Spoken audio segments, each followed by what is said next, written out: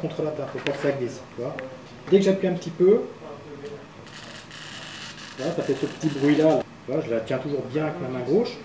Et puis après, la petite pince, là, je viens la mettre à côté du trait. Puis tu vois, là, hop, ça se détache. Est-ce que tu veux essayer? Ouais, bravo. Alors là, tu tiens bien. Voilà. Bah, impeccable. Et j'ai continué à couper. Ah bah j'ai trouvé ma relève, moi. Super.